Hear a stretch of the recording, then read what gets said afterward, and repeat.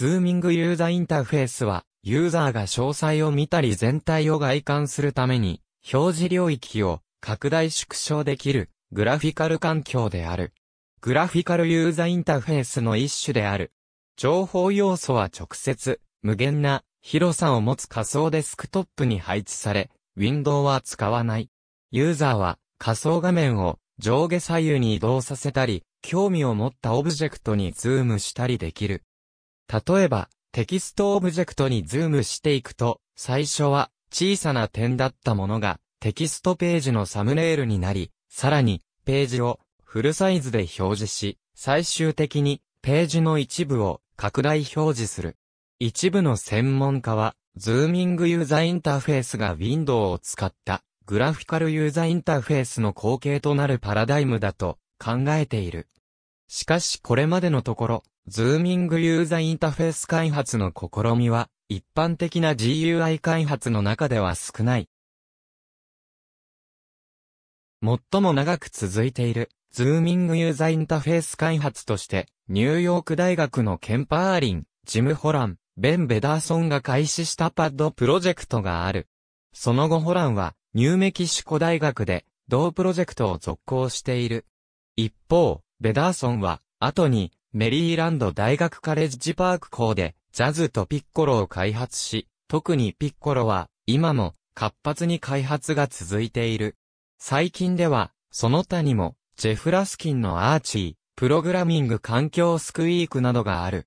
ズーミングユーザーインターフェースという故障は、ソニーの研究所で働いていた、フランクリン・ゼルファンイコールシュライバーがベダーソン及び、パーリンと共同研究した際に考案した。ズーミングユーザーインターフェースのツールキットではないが、KDE や GNOME などの X ウィンドウマネージャは、ズーミングユーザーインターフェース的な利点を提供する仮想デスクトップ機能を持っている。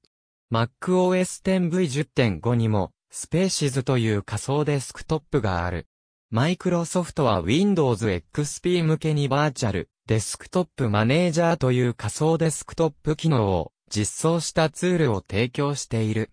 MacOS X V10.3 以降の MacOS は Expose というズーミングユーザーインターフェースを持っている。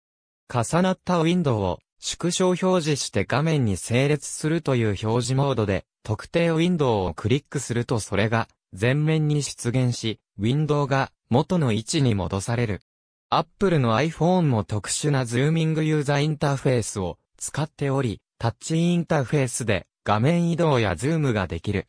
このインターフェースは、ウェブページや写真など一部に限定されており、ズームや移動の範囲も限定されているので、完全なズーミングユーザーインターフェースではない。ジュリアン・オーバネッス、アドリアナ・グツマン、マックス・リーゼンフーバーらが MIT メディアラボと共同で設立したジオフェニックス社は2002年から2003年にかけてソニーの CLIE 向けにズームスペースというズーミングユーザーインターフェースを開発した。任天堂 DS ブラウザーもズーミングユーザーインターフェースを使っている。ウェブをブラウズする際、下の画面にページ全体を表示し、そこにユーザーが動かせるフレームが表示されており、上の画面にフレーム内を拡大表示する。ピクセルテクノロジーズは2000年頃から HTML、Word、Excel、PowerPoint、PDF、各種画像ファイル、動画ファイルなどの各種形式文章の高速ズーミング技術の開発を行っている。結果としてそのインターフェースは iPhone のそれと酷似している。特定の文書形式のズーミングは真のズーミングユーザーインターフェースのごく一部だが、小さな画面を有効活用するという意味では、重要である。2007年3月、マイクロソフトの Live Labs は、ウェブブラウジング用、ズーミングユーザーインターフェース、 Deepfish を、Windows モバイル5プラットフォーム向けに公開した。ゼルファンイコールシュライバーは1990年代中頃に、ソニーの研究所で行った研究に基づき、ズーモラマを設立した。2007年10月には、高解像度画像のコラージュのためのズーミングブラウザのアルファ版を公開した。ズーモラマのブラウザはすべてフラッシュベースである。